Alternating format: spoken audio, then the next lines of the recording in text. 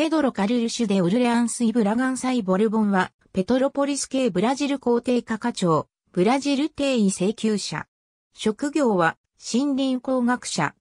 ペトロポリス系ブラジル皇帝課課長、ペドロ・ガスタンとマリア・デラ・イスペランサとの間の長男として、リオデジャネイロで生まれた。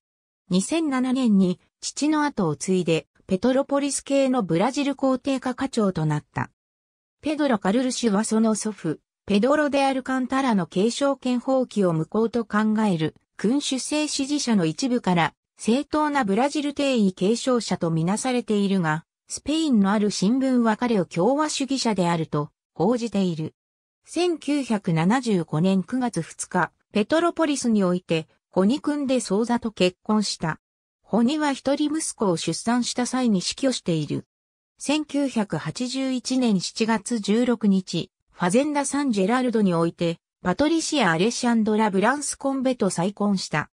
パトリシアとの間に男子を一人設けたが、パトリシアは2009年にペトロポリスのグランパラ宮殿において死去している。ありがとうございます。